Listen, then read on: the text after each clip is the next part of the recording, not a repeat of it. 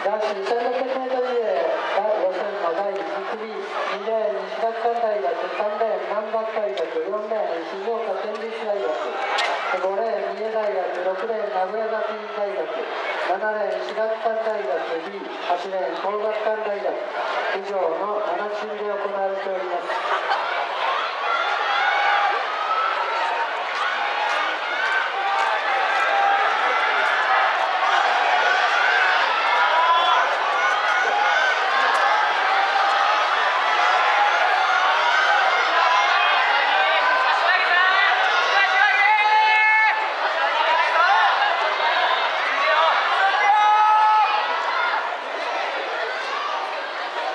最初にまたお待たせしましたのは静岡県立大